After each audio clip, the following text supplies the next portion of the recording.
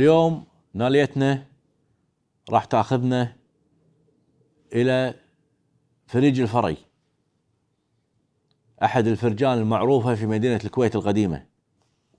وسمي هذا الفريج باسم الفري أو الفرج على عائلة الفرج المعروفة اللي برز منها العديد من الشعراء منهم الشاعر عبد الله الفري والشاعر خالد الفري.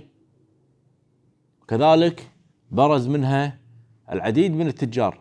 كان اشهرهم محمد الفري والد الشاعر عبد الله الفري اللي كان من وجهاء تجار الكويت في القرن بداية القرن الثامن عشر. وهو من أوائل الكويتيين اللي سافر إلى الهند والد الشاعر عبد الله الفري محمد الفري. كان له تجارة رائجة في الهند حتى أن الشاعر عبد الله الفري ترعرع ودرس في الهند. وكذلك تعلم يمكن الفنون الهندية وهو يقال أول من أدخل الفنون الهندية إلى الكويت. وكان والده محمد الفري غني جدا ثري. مثري كان يمتلك سفن عديدة. ورث عنه الشاعر عبد الله الفري ورث ثروة كبيرة من والده. شاعر قدير شاعر عبد الله الفري من شعراء الكويت في القرن التاسع عشر وهو امتداد للشاعر المعروف محمد بن لعبون. ولد الشاعر عبد الله الفري في عام 1836 ميلادي تقريبا وتوفي في عام 1901 هذا الشاعر كان يطلق على نفسه اسم محيي الهوى. يبدي بعض قصائده بقال محيي الهوى قال محيي الهوى للسهارة من خشوف مداهلها الأظلة بار فيهن عنود ما يباره من حيث جوره يعت اللي يتله. يطلق على نفسه محيي الهوى وفعلا هو محيي الهوى نظم الشعر بالعامي وكذلك بالفصيح ولا زهريات. للأسف فقدت أغلب قصائده الفصيحة وحفظت أغلب قصائده العامية. وكان الفضل بعد الله سبحانه وتعالى للشاعر خالد الفري اللي جمع هذه القصائد العامية من صدور الناس في ذاك الوقت لأن الكويتيين في ذاك الوقت سهل في أن يحفظون الشعر العامي اللهجة المحلية ولكن صعب بالنسبة لهم مو أي واحد يحفظ الشعر بالفصيح. فجمع الشاعر خالد الفري أشعار وقصائد الشاعر عبد الله الفري العامية وطبعهم في ديوان طبع في الهند. أطلق عليه اسم الأرج من ديوان ابن فرج. طبع في المطبعة السورتية في الهند في عام 1838 هجري الموافق عام 1919 ميلادي طبعا الهندية الأولى. وأنا أمتلك هذه الطبعة فعلا تعتبر طبعة نادرة. وطبع بعدها طبعات عديدة. الشاعر عبد الله الفري كان كريم. وهناك الكثير من القصيص العديد من القصيص في تاريخ الكويت من القصص اللي طبعا توضح وتجسد كرم الكويتيين. و احترامهم لحقوق الجار وبر الوالدين وعلاقتهم في بعض وعلاقتهم في حكامهم. قصص جميلة. جسدت العديد من المفاهيم الجميلة لتعامل الكويتيين مع بعضهم في الماضي. من أحد هذه القصيص اللي أنا قريتها الحقيقة وتأثرت فيها في كتاب حكايات من الكويت للشيخ المعروف عبد الله النوري قصة الشاعر عبد الله الفري مع تاجر من البادية. عبد الله الفري في آخر حياته أفلس. وانطوى في بيته وانزوى عن الناس. لا يقبل على أحد ولا حد يقبل عليه. في يوم من الأيام جاء إلى المدينة رجل من البادية ينشد عن التاجر عبد الله الفرج. وكان معاه حلال. غنم وإبل. فبعد ما نشد وعلموه وين بيته راح له. هذا اللي رجل أو تاجر البادية راح إلى بيت الشاعر عبد الله الفري.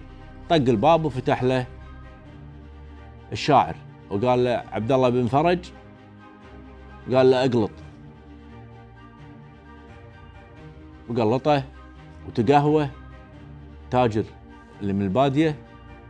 وقال له يا عم أنا ولد فلان ابن فلان وأنت تعرف أبوي وأودعت عنده وديعة وهو عبارة عن حلال غنم وإبل وفضل رب العالمين أنا نميت هذه الوديعة وكثر الحلال وكبر وأبوي وصاني قبل لا يتوفى في انه أرجع لك حقك وديعتك. وهذا الغنم حلالك وبعارينك في السوق. وحللني يا عم. رد عليه الشاعر قال عبد قال له قضيت؟ قال له قال له يا يا يا يا أبوك أنا الحين رجل طاعن في السن.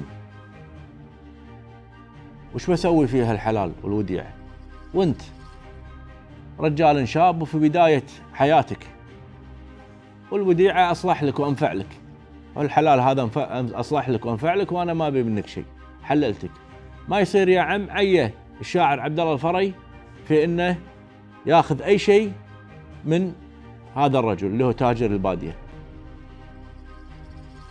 ففعلا هذه هذه القصة تعكس أمانة التاجر اللي من البادية وحرصه في إنه يرجع حلال عبد الله الفري بعد وصاة أبوه وتعكس تعامل عبد الله الفري وكرمه في في في ذلك الوقت. فالحقيقة هذه القصص وخصوصا كتاب حكايات من الكويت في مليء بالعديد من القصص اللي تعكس هذه الصفات الجميلة اللي كانوا يتحلى فيها الكويتيين.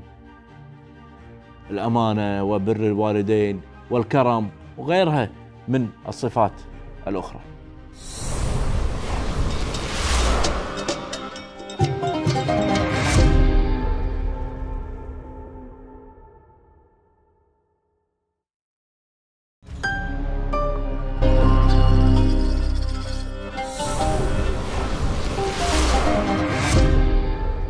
اللهجة الكويتية كائن حي.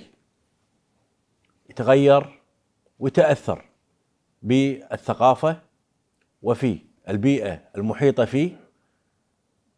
هذه اللهجة تحتاج إلى بحوث وإلى دراسات. دراسة اللهجة وأصولها ليس بالأمر السهل. ولكن هناك العديد من الباحثين الذين كانت لهم إسهامات واضحة وقيمة في مجال دراسة اللهجات وخصوصا اللهجة الكويتية. ومن هؤلاء ضيفنا اليوم الدكتور يوسف البدر أستاذ اللغويات في الهيئة العامة للتعليم التطبيقي والتدريب تخصص في علم اللغة ولهجاتها في صناعة المعاجم المدرسية وحقق العديد من الكتب المتعلقة باللهجة منها قاموس الجيب للسيد عيسى عبد المنعم السالم واللي أصدره عن طريق مركز البحوث والدراسات الكويتية وترجم العديد من الكتب خصوصا المتعلقة بتراثنا البحري. وهذه الكتب فعلا ترجمتها بالأمر ليس بالسهل وأمر مهم لأن الكلمات المتعلقة والمفردات بالتراث البحري كلمات غير متداولة وبذل مجهود كبير في ترجمة هذه الكلمات. هو عضو مجلس إدارة في جمعية المترجمين الكويتية وعضو في الجمعية الكويتية للتراث وله العديد من البحوث المنشورة في العديد من المجلات المتعلقة بعلم اللغويات واللهجات. حياك الله دكتور. الله يحييك أخوي فهد. الله يحفظك. إحنا دائما دكتور يعني آه، نبدي من الطفولة. أنت ما شاء الله يمكن من آه، فترة طفولتك على يعني أنا قريت عنك وما شاء الله وقريت السيره الذاتيه اهتميت بموضوع اللغات. نعم. وكنت حريص على هذا الأمر. نعم. أنا في سؤال كم لغة تتحدث دكتور؟ كم لغة تحدث؟ كم لغة اتحدث آه، طبعا اولا بسم الله بسم الله الرحمن الرحيم أشكركم طبعا على الاستضافة هذه مبارك عليكم شهر على السادة المشاهدين. أسأل الله يتقبل منا ومنكم صالح الأعمال. آه، طبعا هذا السؤال أنا أسئلة طلبتي كأول آه، يوم في المحاضرات الجامعية يعني عدد اللغات الناطقة أو كم لغة تتكلم أنت يا طالب أو طالبة؟ آم، طبعا أتكلم لغتين كأساسيتين هما العربية والإنجليزية هذا شيء خالصين منه طبعا لكن بالإضافة إلى آه، تعلمت الفرنسية وتعلمت الألمانية وتعلمت آه، الأردية لغة الأردو وتعلمت اللاتينية لكن بحكم أن ما عندي تواصل بين هاللغات مع أبناء الناطقين بهذه اللغات فتحتاج ممارسة نوعا ما على أساس أنمي المهارة اللغوية، المهارات اللغوية الأربعة طبعا. آه، لكن هذه بشكل عام طبعا اللغات التي يعني أتحدث بها آه، بالإضافة إلى في آه، اللغات التي يعني أدرسها نوعا ما وليس يعني يمكن ما أتحدث بها لكن أقرأ بها. مثلا اللغات السامية، اللغة اللغة العبرية، اللغة الأرامية، اللغات آه، كلدانيه بالضبط الكلدانية إلى نعم. آخره، اللغات الهندو اوروبيه نعم مثلا اللغة البلغارية، الروسية إلى آخره، فهذه لازم آه، متخصص اللغويات أو اللغات أو اللسانيات يكون ملم في الظواهر اللغوية نعم. بشتى لغات نعم. العالم. أنت حضرتك ذك- ذكرت اللغة الأردية آه، آه، عشان نوضحها للساده المشاهدين هي إحدى اللغات الهندية نعم نعم. الاردو الاردو لغة الهند نعم. وباكستان طبعا. وباكستان نعم، طبعا صحيح نعم. آه، دكتور كم عدد لغات العالم؟ لغات العالم آه، ال- السؤال هذا طبعا يتكرر كل سنة وكل سنة عندنا إحصائية تختلف عن السنة السابقة. آم، اليوم سنة 2023 وصل عدد لغات العالم ما يقارب 7000 لغة. الواحد يعني يستفسر أو يتساءل إحنا ما نعرف إلا الفرنسي والإيطالي واللاتيني هالأمور هذه فوين هال 7000 لغة؟ نعم. وين هي يعني اين أين تقع على الخريطة؟ في دولة آه، تقع فوق تقريبا أستراليا اسمها بابوا نيو غيني بابوا غينيا الجديدة بالعربي. الدولة هذه فقط تحتوي على أكثر لغات العالم. يعني عدد الناطقين من اللغات هناك عندنا 800 815 و 840 لغة تقريبا ما شاء الله. في دولة واحدة. تجاوزوا الهند. نعم تجاوزوا الهند. فهذه رقم واحد. الدولة رقم واحد نعم. فيها أكثر لغات العالم في الدولة. ف يعني أغلب الباحثين هالأيام خصوصا بأستراليا ونيوزيلندا انطلقوا إلى هذه الجزر ولهذه الدولة طبعا للاستكشافات اللغوية لصناعة المعاجم وكتب النحو والقواعد إلى آخره. نعم. طيب شنو ترتيب اللغات دكتور؟ هم 7000 لغة. نعم. شنو ترتيبهم؟ الأكثر شعبية؟ ها الأكثر شعبية. أم- اللغة الإنجليزية يمكن. والله شوف أخوي فهد عندنا تقسيمين. إي نعم. عندنا تقسيم اللي يشمل أبناء اللغة فقط إي نعم. كناطقين بلغة أولى. عندنا تقسيم ثاني اللي يشملنا أنا وياك من نعم. ضمن الناطقين كلغة ثانية. نعم. يعني لو نشوف التقسيم الأولى اللي هو على بناء على حسب أبناء اللغة الناطقين باللغة الأم آه راح نلاحظ أن اللغة المندرين الصينية هي الرقم واحد بالعالم نعم. بحكم عدد سكان الصين. نعم. فعدد الناطقين بها اليوم ما يقارب مليارين. بالضبط يعني عدد ناطقين بالمندرين فقط 950 مليون تقريبا وصل 950 مليار. مليون. تقريبا أي يعني نعم. قريب الملي- المليار. آه، بالصين وموجودة بتايوان بعد. يعني تتحدث المندرين، نعم. نعم لغة مندرين الثانية يمكن تقول إنجليزية لكن هي ما هي إنجليزية. نعم. اللغة الثانية أكثر إسبانية؟ شيوعا الإسبانية. إسبانية نعم. ليش؟ طبعا عدد معروف. الدول. عدد الدول. إي نعم. الناطقة بالاسبانيه في دول أوروبية ودول أمريكا الجنوبية. أمريكا الجنوبية. أحسنت وفي أحسنت. بعض في بعض الدول في أفريقيا كذلك. أفريقيا يعني أكثر الطابع الفرنسي اللغة فرنسي، الفرنسية. نعم، هي الأكثر نعم. انتشارا نعم، في أفريقيا صحيح. والهولندية نعم،. والالمانيه طبعا المرتبة الثالثة تأتي اللغة الإنجليزية نعم. المرتبة الثالثة والرابعة الهندية والخامسة العربية الخامسه العربية هذا ك- كإحصائية أولى نعم. كإعداد الناطقين نعم لكن الإنجليزية رقم واحد مثل ما تفضلت صح إذا إذا أنا وياك دخلنا القائمة نعم. كلغة ثانية ولغة أولى بنفس نعم. الوقت طيب نعم. دكتور يعني لغة اللغة الإنجليزية يعني لغة شكسبير نعم في القرن الثامن عشر مختلفة عن اللغة الإنجليزية الحالية يعني هل اللغة الإنجليزية لهجات متفرعة؟ أي نعم. شيء طبيعي. يعني آه، لغة إنجليزية مواليد القرن السادس. نعم. هي طبعا اللغة الانجليزيه هي بنت اللغة الألمانية. بنت اللغة بنت الالمانيه اللغة الألمانية الغربية نعم. تحديدا. ألماني المانيا غربية اسمها كذي. West Germanic languages تطورت من لغة قديمة إلى لغة الوسطى لغة حديثة إلى آخره. اللغة الانجليزيه تفرع كانت لهجة من لهجات الألمانية أصبحت اليوم كلغة وتفرع منها لهجات ولكنات مختلفة طبعا. نعم. نشوف نروح أمريكا راح نشوف قاموس اللغة الإنجليزية الأمريكية نروح أستراليا قاموس الإنجليزية الأسترالية نروح كندا نيوزيلندا وبريطانيا. الخمس دول هذه فيها اللغة الإنجليزية كلغة أولى. ندخل فقط نروح لندن العاصمة عاصمة بريطانيا راح نشوف عدة لهجات في لندن ولكنات. فهذا أمر طبيعي جدا كما نعم. حدث باللغة اللاتينية. نعم صحيح. يوم من الأيام كان اللغة الأم وتفرعت منها الإسبانية والإيطالية إلى آخره والآن الإسبانية صارت لغة أم لغة وتفرع منها نعم، لهجات نعم، أخرى. صحيح. نعم. إحنا بعد الفاصل راح نروح إلى اللهجات الكويتية اللي هي محور. نعم. حديثنا إن شاء الله معاك في هذه الحلقة والحلقات القادمة. دكتور فاصل ونواصل حديثنا مع الدكتور يوسف البدر.